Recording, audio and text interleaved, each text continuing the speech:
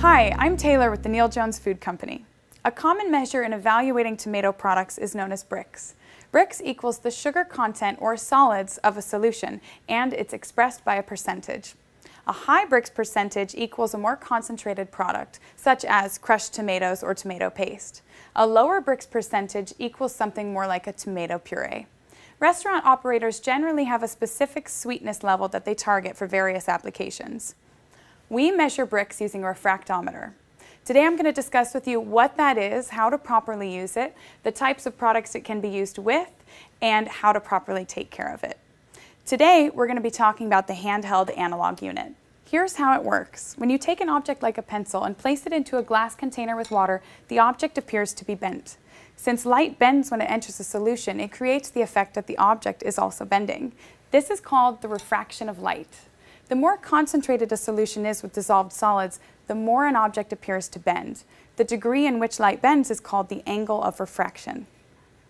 Analog refractometers like this one are made up of the main prism and the daylight plate located at the end of the unit. Before using the refractometer unit, it needs to be calibrated to zero by placing a couple of drops of distilled water onto the prism and closing the daylight plate. Next, you should hold the unit up to the light and look into the focusable lens. It should be at zero on the scale.